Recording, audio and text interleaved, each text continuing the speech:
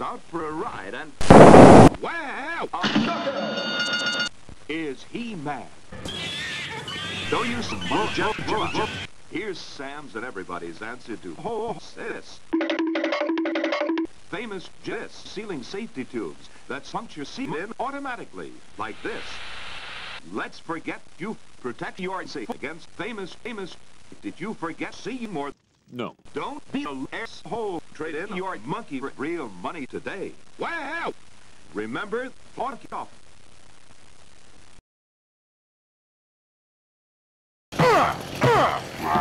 That's a lot of Protection. How about a little more?